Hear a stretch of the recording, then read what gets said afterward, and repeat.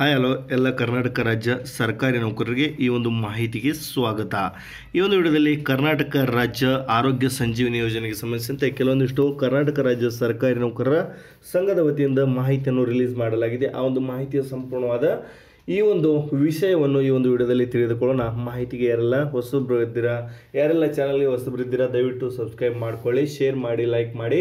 ನಿಮ್ಮ ಒಂದು ಅನಿಸಿಕೆಯನ್ನು ಕಮೆಂಟ್ಸಲ್ಲಿ ತಿಳಿಸಿ, ಯಾವ ರೀತಿ ಅಂತ ಇನ್ನೊಂದು ಯಾವ ರೀತಿಯಂಥ ಒಂದು ಮಾಹಿತಿ ಬೇಕಾಗಿದೆ ಅಂತ. ಬನ್ನಿ, ನೋಡೋಣ, ಬನ್ನಿ ಕರ್ನಾಟಕ ರಾಜ್ಯ ಸರ್ಕಾರಿ ನೌಕರ ಸಂಘದ ಅಧ್ಯಕ್ಷರಾದ ಸಿ ಎಸ್ ಷಡಕ್ಷರಿ ಅವರ ವತಿಯಿಂದ ಕೆಲವೊಂದಿಷ್ಟು ಮಾಹಿತಿಗಳನ್ನು ಈ ಒಂದು ಕರ್ನಾಟಕ ರಾಜ್ಯ ಆರೋಗ್ಯ ಸಂಜೀವಿನಿ ಯೋಜನೆಗೆ ಸಂಬಂಧಿಸಿದಂತೆ ಮಾಹಿತಿ ಬಿಡುಗಡೆ ಮಾಡಲಾಗಿದೆ. ಅದರ ಬಗ್ಗೆ ಕೆಲವೊಂದಿಷ್ಟು ಮಾಹಿತಿಯನ್ನು ಅಪ್ಡೇಟ್ಸನ್ನು ಪಡೆಯೋಣ.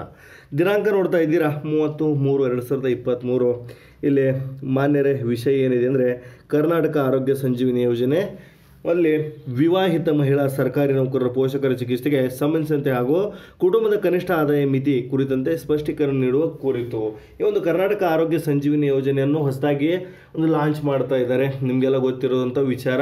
ಈಗಾಗಲೇ ಗೆಜೆಟ್ನಲ್ಲಿ ಮಾಹಿತಿ ಪ್ರಕಟವಾಗಿದೆ. ಮಾನ್ಯ ಇಲ್ಲಿ ಮುಖ್ಯಮಂತ್ರಿಗಳಾಗಿರುವಂಥ, ಆಗಿದ್ದಂತಹ ಬಸವರಾಜ ಬೊಮ್ಮಾಯಿ ಅವರು ಈಗಾಗಲೇ ಇದಕ್ಕೆ ತಮ್ಮೊಂದು ಅನುಮೋದನೆಯನ್ನು ನೀಡಿದ್ದಾರೆ.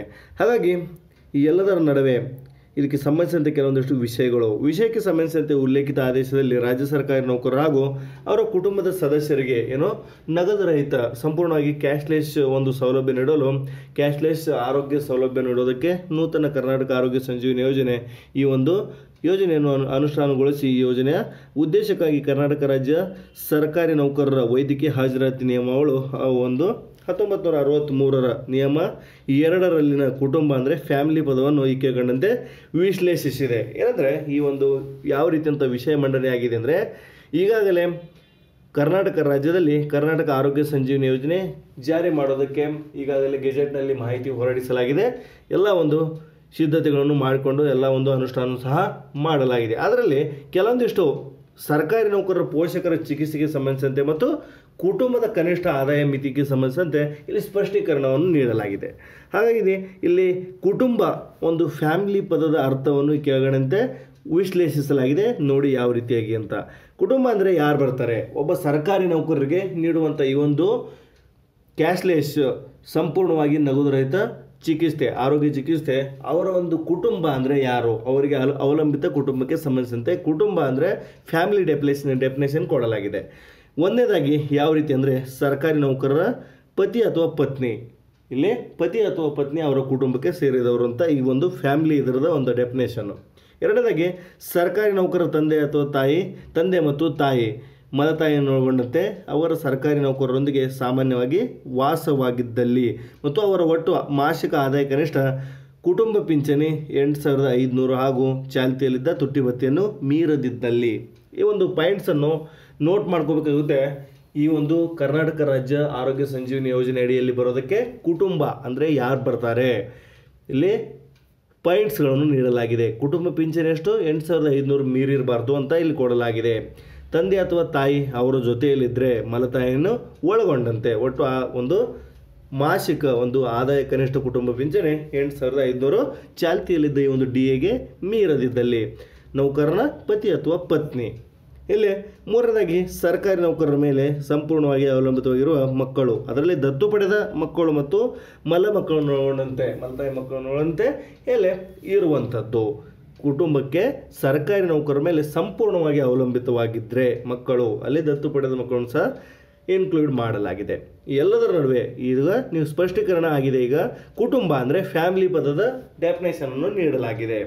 ಯಾರು ಇದಕ್ಕೆ, ಯಾರೆಲ್ಲ ಈ ನೌಕರನ ಒಂದು ಚಿಕಿತ್ಸೆಗೆ ಈ ಪೋ, ಯಾರೆಲ್ಲ ಒಂದು ಈ ಒಂದು ಕೆ, ಕರ್ನಾಟಕ ಆರೋಗ್ಯ ಸಂಜೀವಿನಿ ಯೋಜನೆ ಅಡಿಯಲ್ಲಿ ಬರ್ತಾರೆ ಎಂಬುದರ ಬಗ್ಗೆ.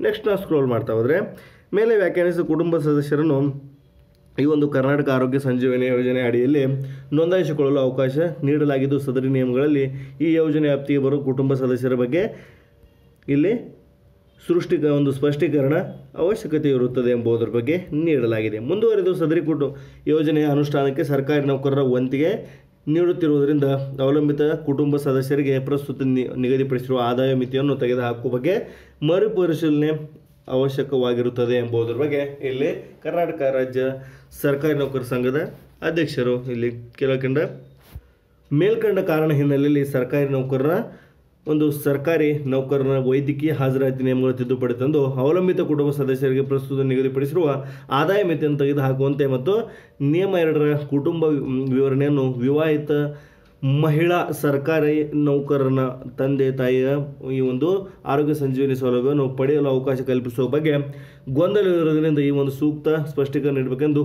ಕೋರಿದೆ. ವಂದನೆಗಳೊಂದಿಗೆ ಸಿ ಎಸ್ ಷಡಕ್ಷರಿ ಅವರು. ಇಲ್ಲಿ ಕೆಲವೊಂದಿಷ್ಟು ಬದಲಾವಣೆಗಳನ್ನು ಬಯಸ್ತಾ ಇದ್ದಾರೆ ಕರ್ನಾಟಕ ರಾಜ್ಯ ಸರ್ಕಾರಿ ನೌಕರರು. ಏನಂದರೆ, ಇದರಲ್ಲಿ ಕೆಲವೊಂದಿಷ್ಟು ಕುಟುಂಬ ಪಿಂಚಣಿಗೆ ಮಿತಿಯನ್ನು ಹೇರಲಾಗಿದೆ. ಆ ಒಂದು ಮಿತಿಯನ್ನು ತೆಗೆದುಹಾಕಬೇಕು ಮತ್ತು ವಿವಾಹಿತ ಮಹಿಳಾ ಸರ್ಕಾರಿ ನೌಕರನ ತಂದೆ ತಾಯಿಯ ಒಂದು ನೌಕರನ ತಂದೆ ತಾಯಿಯ ಸೌಲಭ್ಯವನ್ನು, ಈ ಒಂದು ಆರೋಗ್ಯ ಸೌಲಭ್ಯವನ್ನು ಪಡೆಯಲು ಅವಕಾಶ ಕಲ್ಪಿಸುವುದು ಮತ್ತು ಕೆಲವೊಂದಿಷ್ಟು ಮಿತಿ ಗೊಂದಲಗಳಿಂದ ಇರೋದರಿಂದ ಬಗ್ಗೆ ಸೂಕ್ತವಾದಂಥ ಸ್ಪಷ್ಟೀಕರಣ ನೀಡಬೇಕೆಂದು ಸರ್ಕಾರಿ ನೌಕರರ ಸಂಘ ಕೋರಿದೆ ಸಿ ಎಸ್ ಷಡಕ್ಷರಿ ಅವರು ಈ ಒಂದು ರಿಕ್ವೆಸ್ಟನ್ನು ಮಾಡಿಕೊಂಡಿದ್ದಾರೆ. ಇದೊಂದಾಗಿತ್ತು ಕರ್ನಾಟಕ ರಾಜ್ಯದಲ್ಲಿ ಆರೋಗ್ಯ ಸಂಜೀವಿನಿಗೆ ಸಂಬಂಧಿಸಿದಂತೆ ವಿವಾಹಿತ ಮಹಿಳಾ ಸರ್ಕಾರಿ ನೌಕರರ ಪೋಷಕರ ಚಿಕಿತ್ಸೆಗೆ ಸಂಬಂಧಿಸಿದಂತೆ ಹಾಗೂ ಕುಟುಂಬ ಕನಿಷ್ಠ ಆದಾಯ ಮಿತಿ ಕುರಿತು ಸ್ಪಷ್ಟೀಕರಣ ನೀಡುವ ಕುರಿತು ಈ ಒಂದು ಮಾಹಿತಿ ಕರ್ನಾಟಕ ರಾಜ್ಯ ಸರ್ಕಾರಿ ನೌಕರರ ಸಂಘದ ವತಿಯಿಂದ ಬಿಡುಗಡೆಗೊಳಿಸಿರುವ ಬಗ್ಗೆ. ನಿಮಗೆ ಅನಿಸುತ್ತೆ ಕರ್ನಾಟಕ ರಾಜ್ಯ ಸರ್ಕಾರಿ ನೌಕರರಿಗೆ ಆರೋಗ್ಯ ಸಂಜೀವಿನಿ ಯೋಜನೆ ಅಡಿಯಲ್ಲಿ ಯಾವೆಲ್ಲ ಒಂದು ಬದಲಾವಣೆಗಳು ತರಬೇಕು ಎಂಬುದರ ಬಗ್ಗೆ ನಿಮ್ಮ ಒಂದು ಉತ್ತರವನ್ನು ಕಮೆಂಟ್ಸಲ್ಲಿ ತಿಳಿಸಿ. ಸಿಗೋಣ ಒಂದು ನೆಕ್ಸ್ಟ್ ವಿಡಿಯೋದಲ್ಲಿ